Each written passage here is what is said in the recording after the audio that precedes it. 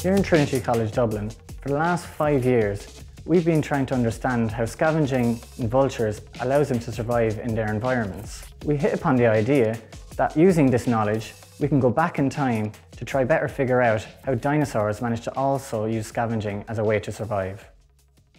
Scavengers are animals that rely on finding already dead animals to eat instead of hunting them themselves. These species can be very important in terms of recycling nutrients, energy, but also for clearing off disease-ridden carcasses in the environment.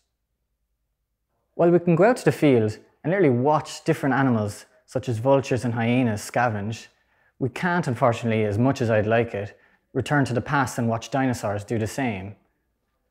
Using computers, we built the entire environment that these dinosaurs would have lived in, a type of Sims for Dinosaurs edition. Using this, we could then calculate how many calories these dinosaurs might have been getting from scavenging in comparison to hunting. We built these computer simulations using what we know about current animals. Small animals require less calories than large animals, and we know how that changes with body size.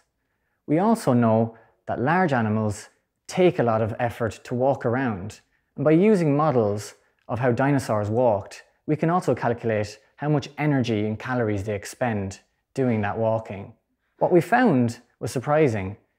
Although we'd expect the large dinosaurs to do quite well in scavenging, we found that, well, they really suck at it. It just takes too many calories to move that big bulk around and not enough payout of the amount of carcasses and dead bodies they find for food. Likewise, the smaller guys, the little tiny dinosaurs the size of a turkey, they just couldn't get in on the act. They couldn't search enough area to find enough dead bodies to feed their appetite. What we found was the best dinosaur scavengers were those between 500 kgs and 1000. These include dinosaurs such as a juvenile T-Rex, which would have been a very efficient scavenger. We are very excited about these results. But coming back to the present, we're only starting to understand both how common and important scavenging is in our environments. By using our model simulation approach, we can better understand and predict the role of scavenging in a healthy environment.